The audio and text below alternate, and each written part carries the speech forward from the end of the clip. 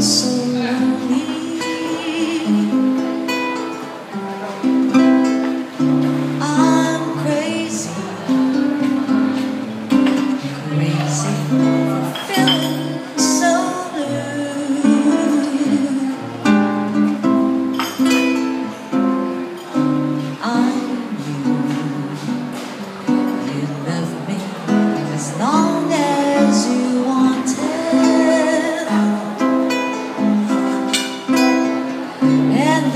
song